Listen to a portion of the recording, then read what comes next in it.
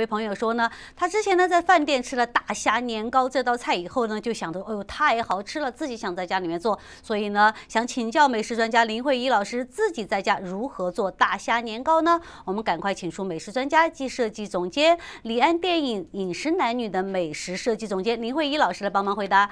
慧仪姐又见面了。哎，莉亚，最美的主持人，谢谢您哈，每次都这么说我啊，早安早安。那么在家怎么做大虾年糕呢？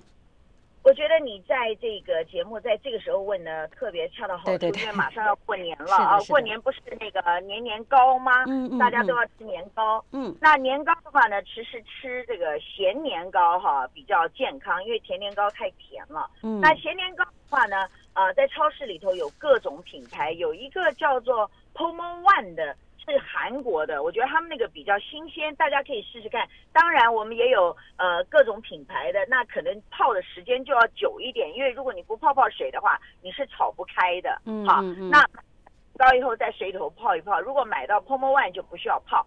那这个另外的话，虾一定要买的这个比较好一点的虾。嗯嗯。如果你买不到新鲜的大虾带头的话，那你就要买那种不带头的虾，因为这个虾哈在。呃，买来的过程中，如果他们有经过一种呃昏迷的药啊，给它泡水，那它就不会自我毁灭。你有没有听过臭鱼烂虾？是是，就是因为那个自我毁灭，它不要你，就是我，他知道它快死了，它就呃分泌 enzyme，让它的这个肉越来越烂、越迷、越臭。嗯嗯。所以你要买到新鲜的虾，买无头虾其实蛮棒的哈，买无头虾。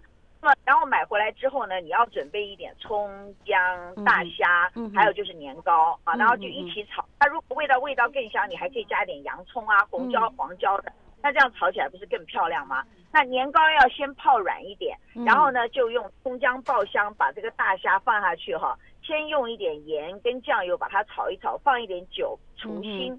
炒一炒呢，然后让这个虾有点半熟的时候呢，再把年糕放下去。这年糕因为已经泡过水了，所以放下去以后呢，把它先炒匀之后呢，呃，如果够软的这个年糕的话呢，呃，炒一炒匀就可以吃了。不够软还要加水再烧一烧。那这个时候呢，我建议你把虾先捞起来，让年糕在水里头把它烧到软，年糕再下去。那这样子的话，你就你让两大虾再下去，那这样才可以炒出比较好吃的大虾年糕。讲起来容易，做起来难，要稍微自己实验一下。不如不如你就 Google 一下加州水货，因为加州水货他们的那个大师傅炒的是我吃的，我觉得大虾年糕里面比较好吃一点的，所以你可以考虑。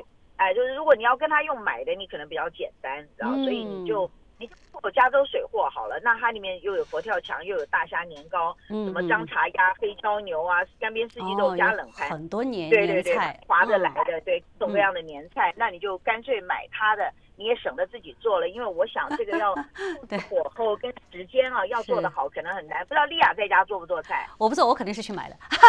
对对对，所以 我我不会做饭哈，所以呢，像林慧仪姐这样会做饭的人真的是太少了。好，非常感谢哈我们的美食专家啊及设计总监林慧仪姐姐小姐。然后呢，啊慧仪姐也是祝你虎年大吉。啊，大家都一样啊，大家就是健康百毒不侵。好的好的，谢谢您。